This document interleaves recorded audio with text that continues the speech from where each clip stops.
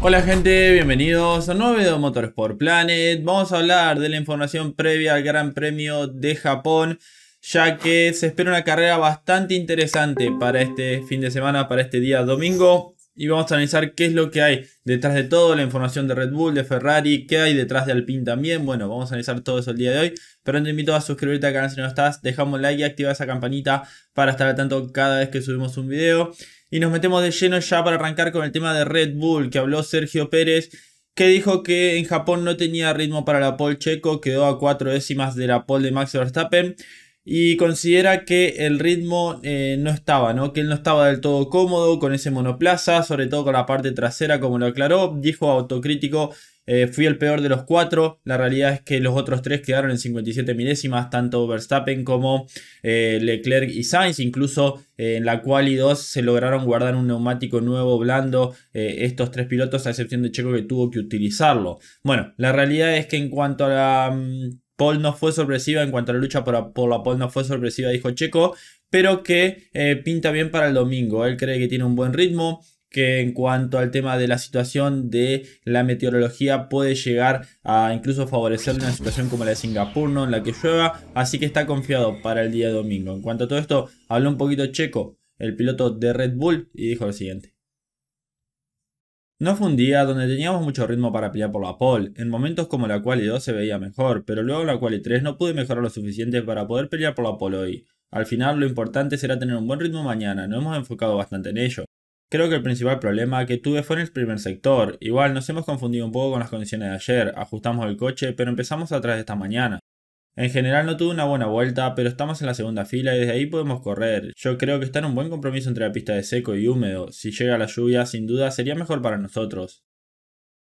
Palabras del piloto mexicano que aclara, ¿no? El tema de que en cuanto al ritmo no estaba, que el tema de la cualidad es lo que recalcábamos, que por ahí Max y los dos pilotos Ferrari eh, pasaron más tranquilos. Y en cuanto al principal problema, sobre todo en el sector 1, no encontraba bien ese equilibrio del monoplaza como ya lo hemos analizado. En cuanto al tema de la meteorología, espera eh, piso húmedo más que nada de lo que está esperando Checo, porque sabemos que en Suzuka una carrera con piso seco es difícil adelantar, por más que tiene una gran velocidad final ese RB18, la realidad es que sería complicado igual. Entonces, en una situación eh, de piso húmedo, la realidad es que Checo no tiene ya nada que perder. Eh, al contrario, por ejemplo, Max sí quiere que sea una carrera en seco porque sería una carrera tranquila, monótona y normal. En cuanto a Checo, es el último de los cuatro que están para pelear por la victoria, porque después Alpine y Mercedes están lejos. Entonces, él quiere que que se mezcle un poquito la situación para ver qué puede rescatar. Veremos, sin dudas está contento con el ritmo. Eh, Red Bull tenía un ritmo de carrera superior al de Ferrari. Veremos qué es lo que ha hecho. Creo que va a ser muy clave el tema de la largada y con lluvia aún más. Gente, cierro por acá con el tema de Checo y me voy a hablar un poquito de su compañero. Sigo hablando de Red Bull, ya Verstappen dice que va a ser una carrera interesante si llega la lluvia.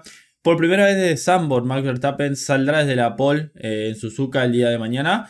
De las cuatro anteriores, en tres logró la victoria y una sola se le escapó que terminó segundo, pero Dice que será interesante ver la meteorología, que en algún momento de la carrera pueda llover. ¿Qué es lo que se espera para la carrera? Se espera que eh, la lluvia vaya en aumento, que empiece una lluvia eh, no tan fuerte y que a medida que avance la carrera vaya aumentando, lo que puede ir complicando las condiciones. Sería algo interesante. Por ahí al contrario de lo que vimos en Singapur, que arrancó una pista muy mojada y se fue secando. Bueno, acá podría ser al revés. Veremos. La verdad que creo que sería una situación bastante interesante. En cuanto a Max Verstappen, recordemos, tiene que ganar con la vuelta rápida para no depender de nadie y ser campeón, si no le tiene que sacar más de 8 puntos, 8 eh, puntos a Charles Leclerc y 6 a Sergio, a Sergio Pérez, entonces está ante una gran posibilidad de coronarse en Japón en la casa de Honda del motorista que volvió con Red Bull. Veremos, pero creo que sin dudas el gran candidato es Max. Dependerá mucho de lo que pase en la largada. Si logra llegar primero a la curva 1, va a ser muy difícil que le logren quitar la victoria. Gente, cierro ahora sí con Red Bull y me hablar un poquito de Ferrari, ya que Sainz comenzará el Gran Premio de Japón desde la tercera posición, Charles Leclerc lo hará desde la segunda y están con cierto optimismo. Eh, como dijimos, apuntan todos a la lluvia. Creen que en cuanto a esas condiciones pueden llegar a tener un extra con condiciones mixtas. Va a ser un poquito más favorable para Ferrari para batir a Red Bull. Veremos qué tanto. Pero recordemos de dónde viene también eh, el piloto madrileño que viene de una carrera muy complicada en condiciones húmedas en Singapur. Entonces él está más cómodo, lo dijo ya el día viernes, que en cuanto a cómo giró con el piso mojado estaba mucho más cómodo de cómo se sentía en Singapur. Los resultados de los terceros entrenamientos no son favorables para Ferrari si es una carrera en piso seco, porque como dijimos, Red Bull tenía una décima y media arriba del ritmo de Ferrari.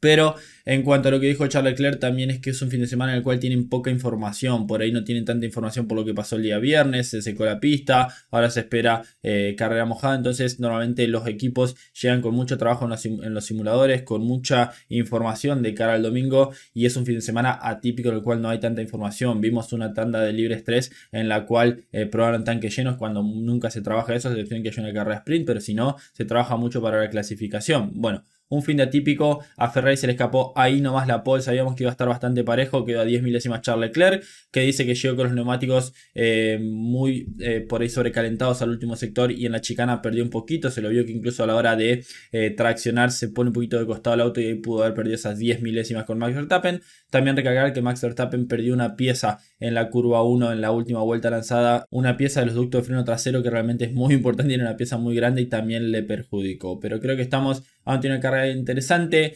Para los fanáticos creo que todos pedimos que llueva un poquito para que revuelva las cosas y no sabemos que en Suzuka una carrera con pisos secos puede ser un poquito eh, más monótona. Ahora me voy a hablar del equipo Alpine, ya que habló su director Safnauer. Como sabemos, Gasly se hizo oficial el día de hoy que eh, va a ser piloto de Alpine para 2023, contrato multianual. Y habló un poquito de esto Omar Safnauer. Dijo que eh, la razón por la que contrataron a Pierre Gasly es que es joven, experimentado y rápido. Eso eh, no lo puedes decir de muchos pilotos que hay en la Fórmula 1. Incluso los dos que mencionamos antes no reunían esos requisitos. Tenemos mucha suerte de haber firmado a Pierre y estamos haciendo trabajar con él. Un palito Alonso, palo a, Pierre, a Oscar Piastri. La realidad es que lo de Piastri, eh, si realmente no estaban tan convencidos, lo querían poner en William por la falta de experiencia, pero después lo fueron a buscar y Piastri les dijo que no. Lo de Alonso siguen hablando del tema de la edad. Bueno, vaya a saber qué es lo que piensa Osmar Safnauer, que cada vez que abre la boca para tratar de aclarar todo lo que pasó en lo que le pasó justamente al equipo alpine en cuanto a sus pilotos, eh, hace creo un poco más el ridículo, porque no creo que Pierre Gasly lo hubieran preferido sobre Fernando Alonso eh, o eh, incluso sobre Oscar Piastri, quien era su futura joya. Además de esto, el piloto francés no quiero decir que sea un mal piloto, me parece un buen piloto, pero eh, no creo que valía la pena pagar lo que pagó el equipo Alpine por Gasly, porque se habla de que pagó unos 10 millones de euros por el piloto francés para poder liberarlo del equipo Red Bull y llevárselo al equipo Alpine con ese contrato que todavía tenía hasta 2023 con Alfa Tauri sabiendo que ya habías invertido mucho dinero en Oscar Piastri también, es la realidad, ¿no? Que además de esto le tenéis que pagar el sueldo a Pierre Gasly, que no es un sueldo eh, barato, un sueldo de un rookie como si podrías haber pagado a Oscar Piastri. Entonces, bueno, es una decisión complicada que se llevó a cabo dentro del equipo Alpine, que querían un piloto francés, dupla francesa para la temporada que viene. Veremos cómo se llevan con Esteban Ocon. Dicen que lo hablaron y que está todo bien entre los pilotos. Bueno, veremos ya cuando se vean en pista con el mismo monoplaza. En cuanto al otro tema, queda claro también para remarcar el tema de Nick Debris de la llegada al equipo de Faenza, al equipo Alfa Tauri, que también se hizo oficial el día de hoy. Habló un poquito Verstappen sobre esto y dice que Verstappen le ayudó, le sugirió que lo llame a Helmut Marco, habló un poquito, sabemos que son compatriotas, son amigos y realmente dice que fue factor el tema de que Max lo ayudara, ¿no? Que le dijo después del Gran Premio Monza, llamalo a Helmut Marco, que hay una posibilidad en Alfa Tauri. Bueno, Max está muy feliz de, que su compatriota eh, tenga un lugar en la Fórmula 1 y Nick Debris es un piloto que yo creo que va a dar de qué hablar. También todo esto, gente, habla un poquito de el problema de los programas de los pilotos, que termina de confirmar que los programas de pilotos para mí es un derroche de dinero por parte de los equipos. Un piloto de la Academia de Alpine terminó en McLaren, piloto de, la, de desarrollo de Mercedes y de McLaren como lo era Nick Debris terminó en Alfa Tauri piloto de Red Bull como lo fue Sainz, terminó en Ferrari, eh, piloto de Ferrari como lo era Checo, que fue parte del programa de Ferrari, terminó en Red Bull. Bueno, las cosas, bueno, ni hablar de lo de Gasly que terminó en Alpine. La realidad es que el tema de los programas de pilotos así es, y más el de Red Bull, que siguen problemas con tantos pilotos que tienen Fórmula 2, tuvieron que ir a buscar a un piloto de Fórmula E que, como digo, fue piloto de reserva del equipo Mercedes y fue parte del programa del equipo McLaren. Bueno, habla un poquito de esta situación. Por último voy a hablar de Fernando Alonso, que tuvo una clasificación en la cual yo creo que me esperaba un poquito más. Por ahí lo veía peleando con Esteban Ocon esa quinta posición, pero terminó séptimo, superado por su compañero de equipo. Pero confío que con la lluvia puede lograr un top 5. Partirá, como dijimos, desde la séptima posición. Y si llueve, espera sacar ventaja. Tuvo una gran práctica libre el día viernes, sobre todo en la primera, con el piso mojado, terminando lo más alto. Dice que está contento de salir mañana a la séptima posición, que cree que pueden ser aún más competitivos en condiciones de lluvia. La verdad que fue muy competitivo a una vuelta al Alpine, eh, dando otro pasito adelante y sacándole diferencia al equipo McLaren. Espera que llueva si es una carrera caótica, tiene mucho menos que perder que los coches de adelante. Eso es lo que recalca Fernando Alonso. Los de adelante se están jugando el campeonato, mientras que nosotros no tenemos nada que perder. Aunque yo creo que sí tienen que perder, porque también ellos están jugando esa cuarta plaza del campeonato. Pero sin dudas están sorprendidos de lo cerca que están este fin de semana del resto de los equipos. Le vino muy bien el circuito de Suzuka al Alpine, cosa que recalcábamos que como a Red Bull le podía ir bien, también le podía ir al PIN muy bien en este circuito. Y se nota que ese piso nuevo que llegaron a Singapur también está está haciendo su efecto en el circuito de Suzuka, que quiero hacer un párrafo aparte y, remarcar qué hermoso circuito que es para ver pasar a la Fórmula 1. La verdad que es un circuito muy rápido, como se ve a la Fórmula 1 pasar y se extrañaba este circuito. Para cerrar con lo de Alonso, dice que es positivo de cara a mañana.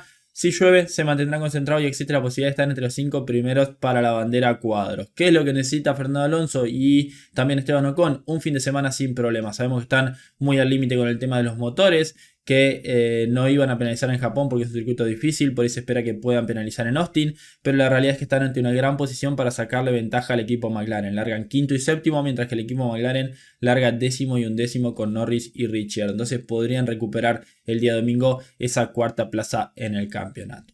Gente, cierro por acá con este video. Déjenme en los comentarios qué opinan de todo lo que analizamos. No olviden de suscribirse al canal si no lo están. Dejar un like y activar la campanita para estar al tanto cada vez que subimos un video. Puedes seguirme en las redes sociales, tanto en Instagram como Twitter, y nos vemos en el próximo video de Motores por Planet. Adiós.